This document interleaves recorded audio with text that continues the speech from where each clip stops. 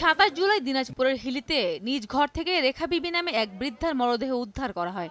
এ সময় তার গলায় গামছা পেঁচানো দেখতে পায় পুলিশ। পরের দিন তার নাতি চারজনের নামে একটি হত্যা মামলা করলেও এখনও গ্রেফতার হয়নি কেউ। দিনাজপুরের বিরলের ভদ্র বাজারে আটাই জুলাই ভোরে নৈশ প্রহরী জোনাকুচন্দ্র রায়ের রক্তাক্ত মরদেহ উদ্ধার করা হয়। ওই দিনই কোতালের থানায় অজ্ঞাতদের আসামি করে হত্যা মামলা করেন নিহতের ছেলে। এই মামলায়ও এখনও কোনো গ্রেফতার নেই।